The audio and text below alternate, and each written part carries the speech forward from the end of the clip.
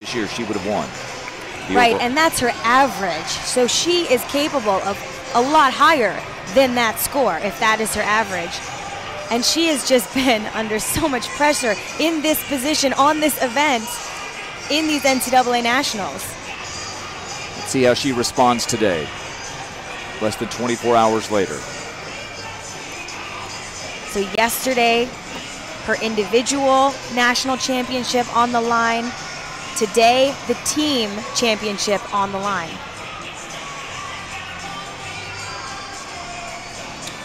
She pulls it right back on. There's her experience kicking in.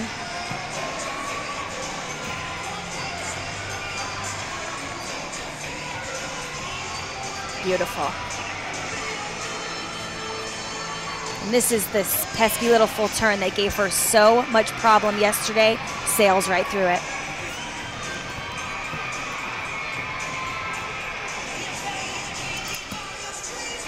Beautiful. She's catching her rhythm again. Maybe a little bit of nerves as soon as she mounted the beam. You can see her sort of falling into place. This is the beam worker that she is. Wow. And that skill right there, it's called an Onodi. It's essentially a back handspring, half twist, front handspring. It is extremely difficult on the balance beam because it is so easy to go crooked. And she does it fabulous. Big finish. That's it. That's it. She Huge. basically saved the championship for them. Wow. If they would have fallen, they would have been out, and she did it. and she was close.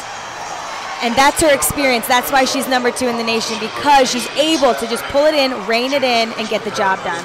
Tied with UCLA after three rotations, Alabama's Geralen Stack-Eaton. Oh, that skill, I could watch it a million times. And look at the landing, it's flawless. Beautiful. That must feel so good for her knowing that she lost it yesterday but won it today. Alabama hangs in and hangs on to a chance at its first national She title. smiled before she landed, I think.